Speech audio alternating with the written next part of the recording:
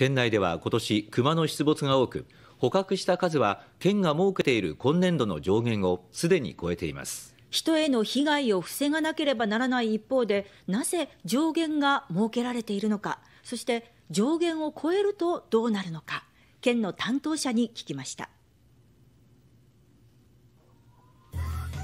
熊の出没が相次いでいる県内。先月末までの捕獲数は県全体で155頭に上り県が設けている今年度の捕獲上限数140頭をすでに上回っています。里に降りてきたクマは人への被害を防ぐために捕獲しますが上限を超えたことで対応は変わるのでしょうか。上限数を超えると全く捕獲できなくなるというわけではなく今年のように出没数が非常に多い場合ですとかそういった場合には人命を第一優先として、まあ、被害防止のための捕獲は行っていきます。上限を超えても捕獲は行うとのこと。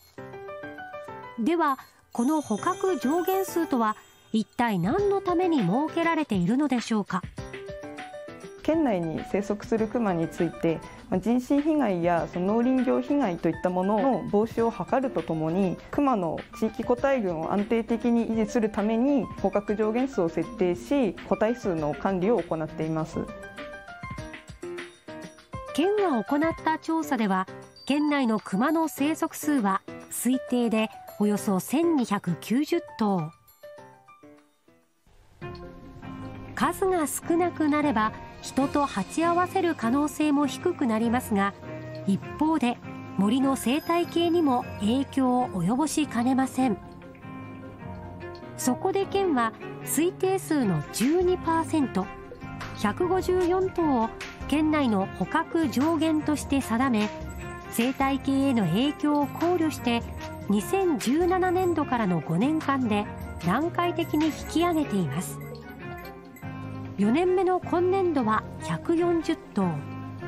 そして5年目の来年度には設定上限の154頭になります。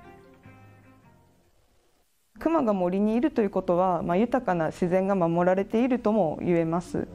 被害の防止と個体群のまあ維持を両立させていくということをまあ考えていかなければならないのかなと思います。熊と人被害の防止と共生県は来年度の捕獲上限を専門家の意見を聞きながら検討する方針です。